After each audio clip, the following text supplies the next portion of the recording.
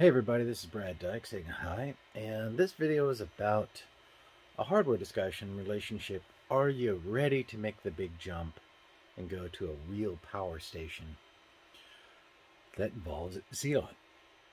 As in the processors themselves. The Xeon processor is pretty awesome, and when you're looking at an i5 or an i7 or an i9, central processor, basically a core processor that would be used for PCs, you think in a different way. But when you start thinking in the sense of a Xeon environment, you can ask yourself, hey, you know, is this the time? And what am I looking for?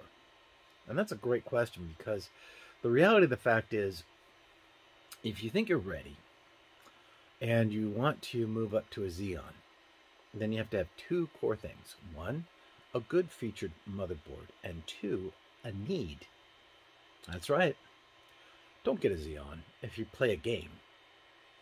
Um, get a Xeon if you're running a server in the background that's doing stat collections and it's actually acting and doing supplement services for you while you play your game and maybe two or three other things. That is where Xeons shine for instance, like video compiling stat in real time while you're getting all the gaming time you want. And of course, in the background, you have a server on the back end that's doing some additional calculations and computations for the actions and transactions you're doing on your gaming session. That is where you can get into a workstation for a user that can do all the things you do with a normal processor stack, such as an i7 but you've got a lot more resources at your disposal. A true power user. Now, it is true, a Xeon motherboard is designed specifically to do server kind of roles.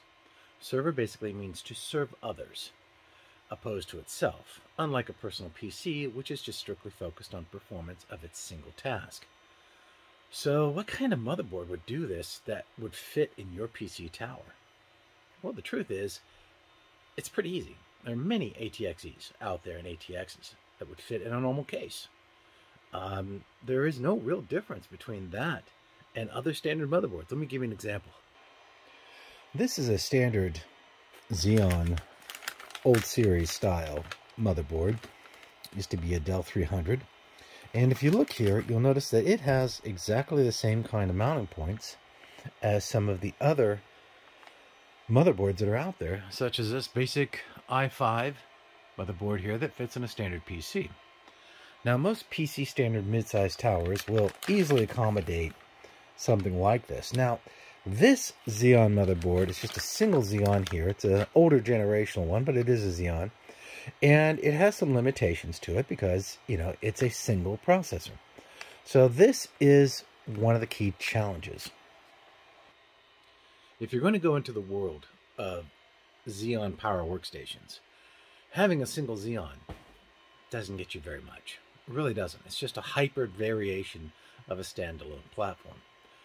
What you really want to do is to consider doing what we call a dual processing setup or an SMP dual processor motherboard.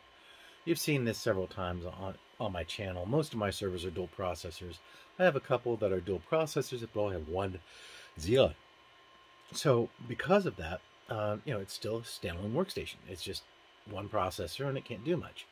So if you were to go up to the world of a true powerhouse workstation, then go with two processors. The formats don't really change. The board doesn't get much bigger. It's just shared a little differently and designed a little differently. The other thing about this, again, you know, when you look at motherboards, you'll notice something very common about many of them. Just like standard motherboards have a single processor, you also find that many of them may only have four DIMM sockets. And to get a dual SMP motherboard with just two slots per processor is not a good idea. So what you want to do is you want to get an SMP motherboard, and there are many, many, many out there that are very cheap and they're in let's say the eighth generational level and they'll you'll find that they only have four DIMM slots in them and they're really not that valuable because the amount of money you got to spend for that single DIMM that's huge is just cost prohibitive what you want to get is a dual SMP motherboard with eight minimum 16 maximum slots a lot of times you'll find that they'll have 12 slots on them. And that's okay too. That would work. Now, the other thing, if you're going to be in a full tower or a mid-sized tower, and I would recommend that when you go to a Xeon platform, understand that you also may want to consider the fact of how many slots you have available and some of the advanced functionalities of them. PCIe 2 is recommended, so don't go anything older than that unless you really want to get into like AGP as you see here. The AGP is not the same as PCI 3 6X16 as you see here. So with a Xeon motherboard, you do a little research. The Supermicro motherboards are really great about this, and I use one myself. And uh, on the version 4 of the Xeon family. If you go to the power station of a more than just a basic user kind of footprint, you want to make sure that you've got that cohesion that you're looking for. And in this particular case, that cohesion is about dual processors, the dual 64-bit lanes, which allow you to do a lot of stack processing. You're going to be able to segment your PCIe bus if you're going in that direction, or PCI and PC, PCIe. Sometimes you'll have both on board. And you also have 8 to 12 or 8 to 16 DIMM sockets. And believe it or not, when you actually do this, uh, now the world starts to open up. You can run a 32 gig gaming session on X4000 while you've got your matrix stack status report services running in the background. All your email, all the other things you can exp experience with a personal PC is in the background as well. You can even start compiling videos and let those eat up a certain amount of processors while you're still enjoying a great game of X45 Foundation.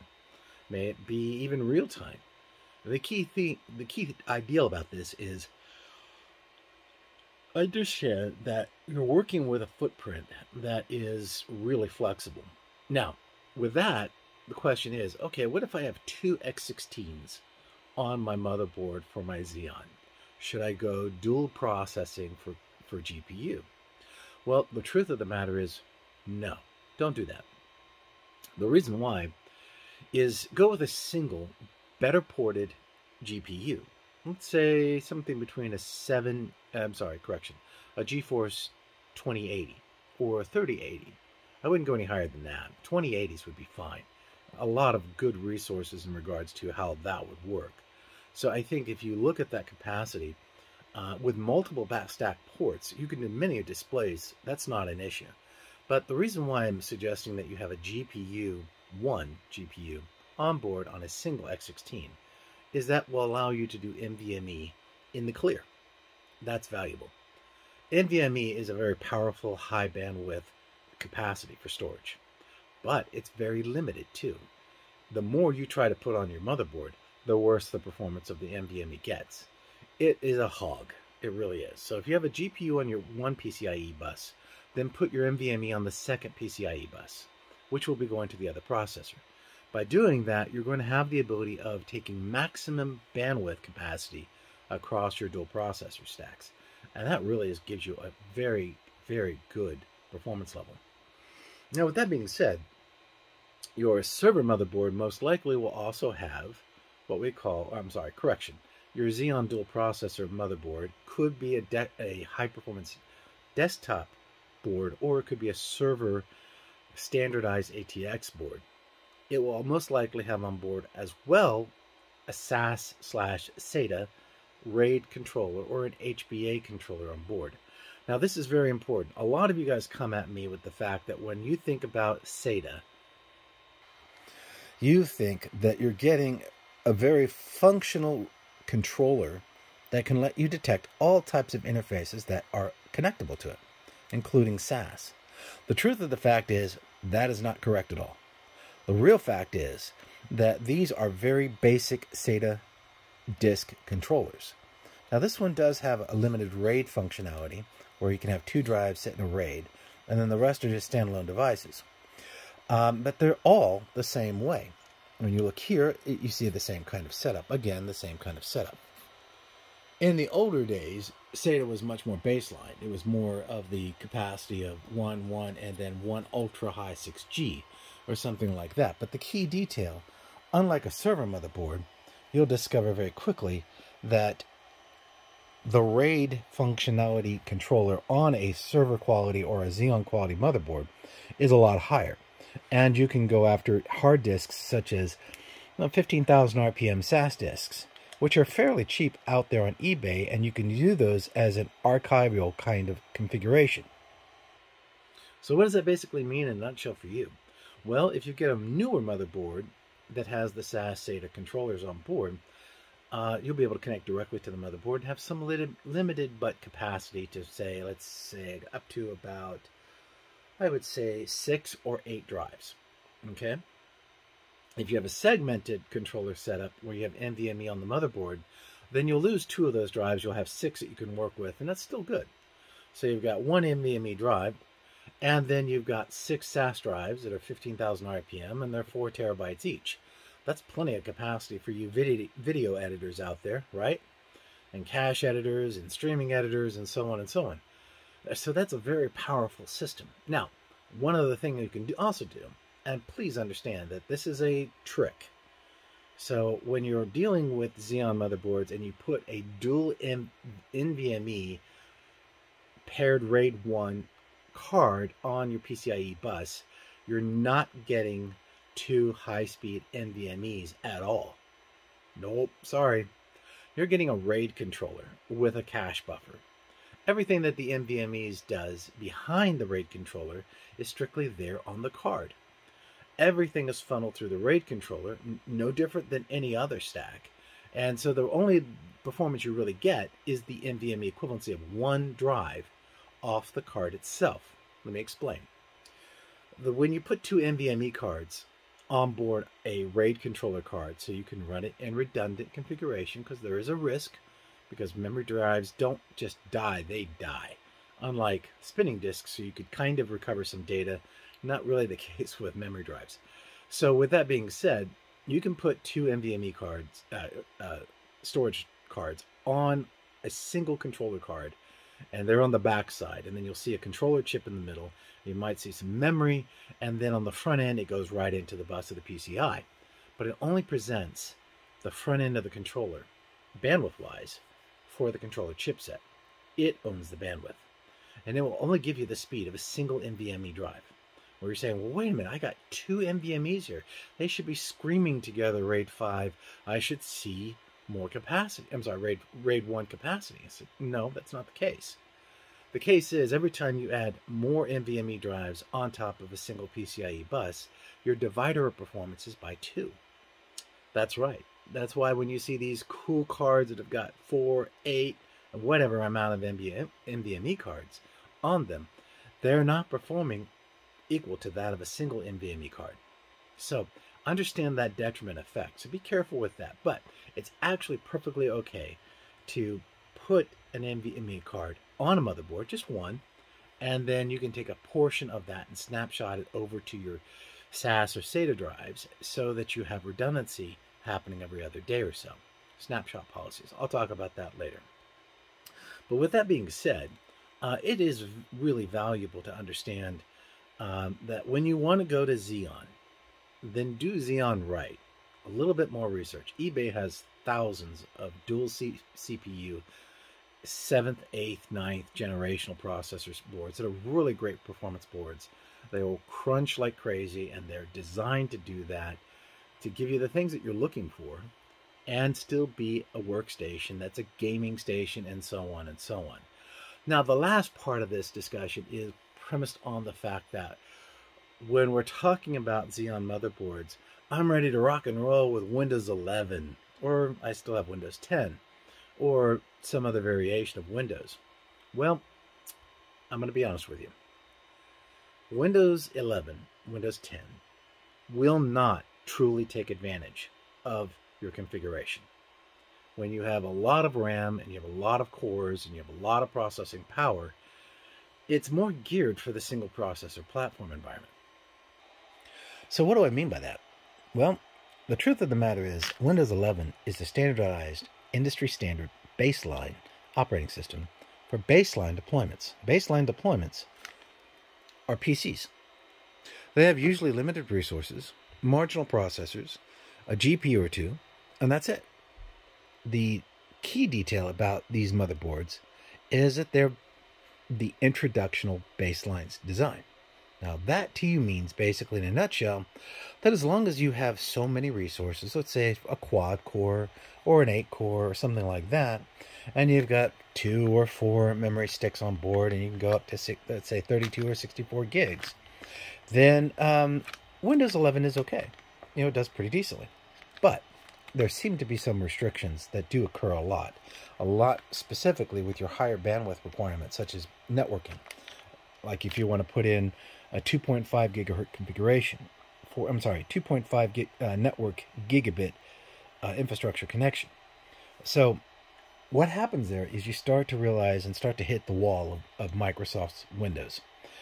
What do I recommend instead?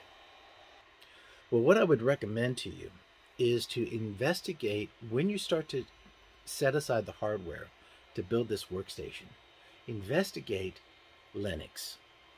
Linux actually can take full advantage and bring that computer down to a crawl of the processing of the RAM of 10 gigabit architectures at 2.5 gigabit architectures for networking for an entourage of different storage resources and so on and so on. But Linux is a learning curve.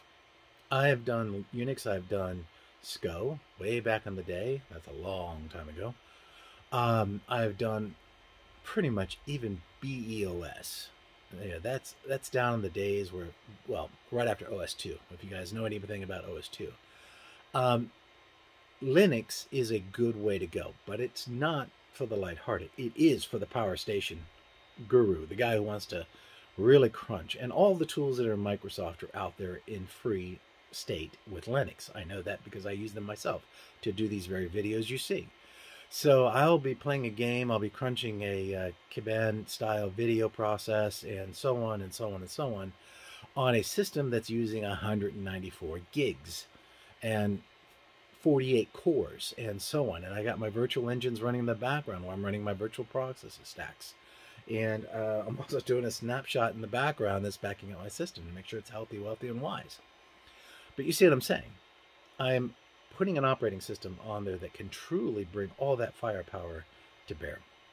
So with that being said, I'm going to be signing off here. I hope you guys have some fun with this. That's the key detail, having fun. And it doesn't hurt to have a small laptop that could be any basic OS, Chrome or Windows or whatever, have it on the sideline. So if you have to do something that you're more familiar familiar with with Windows or Chrome, you can do that on the laptop to prep you and to build out your Linux station. Uh, I found that to be very valuable, especially when you start to learn the basics about recovery and things like that. Well, anyways, God bless. Have a great week and take care.